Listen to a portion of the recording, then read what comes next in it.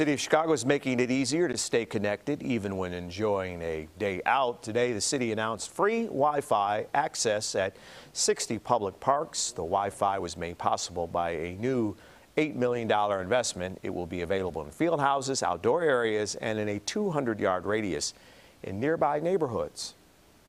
This Wi-Fi is another important tool that will empower the people of Chicago to better engage in our communities as well as our economy. And then, of course, this will ultimately strengthen our city. Installation at the parks is already underway and is expected to be wrapped up by this fall.